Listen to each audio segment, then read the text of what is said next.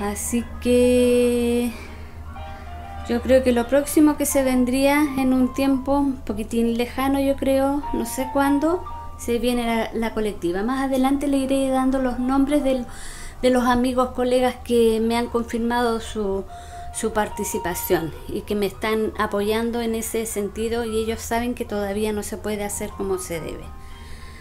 Así que ahí vamos a ver, creo que se, va a ser un bonito evento esa colectiva.